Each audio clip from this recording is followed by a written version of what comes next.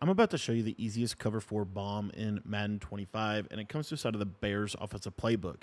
The Bears offensive playbook has bunch strong offset, which I believe is a top five offense in this game. And if you want to learn more about how to run this offense, make sure that you join my Skool community, skool.com slash Cody Ballard. The link is in the description. That's where you get access to all of my Madden and college football offensive and defensive ebooks, as well as all of the updates so that when we find new stuff, you guys get updated in those ebooks. Now, I'm going to be showing you this setup out of the play flood in the Bears offensive playbook, and this is going to be ran with your bunch to the wide side of the field. The reason this is so good against cover four is I'm just going to stem this tight end corner all the way down.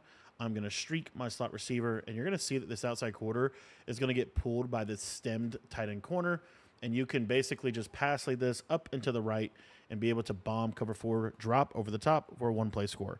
Thanks for watching the video. To check out more about this offense, make sure you check out the Skool community.